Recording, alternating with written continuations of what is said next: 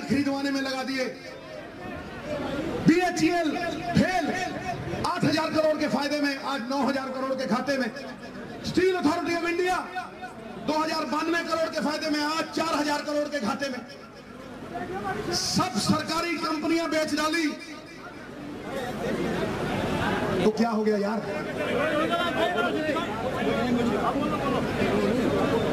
सब सरकारी कंपनियाँ बेच डाली नरेंद्र मोदी ने और आज ओए, गुरु। और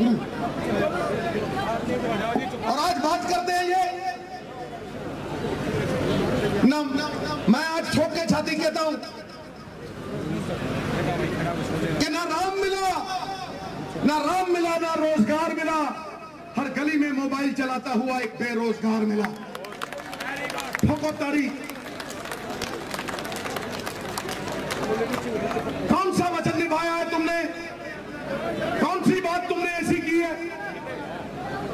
वो एक जाट की बैलगाड़ी के नीचे अंग्रेज़ का कुत्ता आ गया। एक जाट की बैलगाड़ी के नीचे अंग्रेज़ का कुत्ता आ गया। सुनने वाली बात है भाई।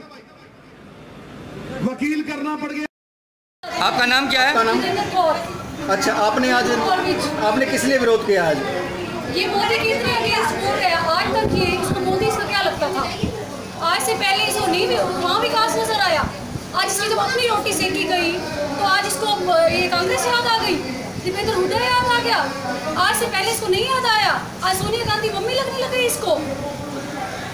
तो आपने मतलब आपने इसके ऊपर इसी उद्देश्य से आपने हाँ, अब इसके क्या फेंका है जी आपने? हमारे गुरु हमारे गुरुओं ने मैं भी एक सिख फैमिली से बिलोंग करती हूँ हमारे गुरुओं ने अपने सिर कटा दिए और ये जाके भाषण में अल्लाह अकबर अल्लाह अकबर बोलता है।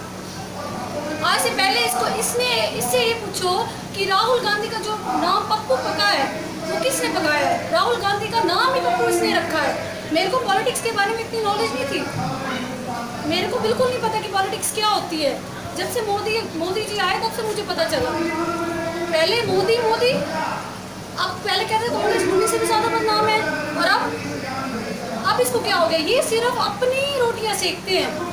ये कोई पब्लिक का कोई विकास नहीं, कोई कुछ नहीं। इनको सिर्फ़ अपनी रोटियाँ सेकने से मतलब है कि इनको मन चाहिए जगह से इलेक्शन ही लड़ने दिया गया, या इनको कोई प्रॉफिट नहीं हुआ तो ये क्या करते हैं? दूसरी पार्टी का जनता बेवकूफ़ है क्या? तो खून नहीं खोलेगा? जो एक मोदी है, वो अपना सही से देश का विकास कर रहा है। हमारे भारत का नाम इतना ऊँचा कर दिया उसने। और क्या चाहिए? इसको अपनी रोटी नहीं सेकी गई इससे। और फिर इसको वही कांग्रेस मुंडी से ज़्यादा बदनाम थी तो इसको अब वो अच्छी लगने लग गई। उसने मनमोहन सिंह के पैर पकड़ रहा है। पहले तो कहता था गूँगा है बोल नहीं सकता। सोनिया गांधी अब सबसे ज़्यादा इसको अच्छी लगने लग गई। क्या मारा जी आपने भगा के ये तो बता दीजिए। मैडम क्या मारा आपने इनको? मैडम आपका दर्द हम ऊपर पहुँचाएँगे बताइए एक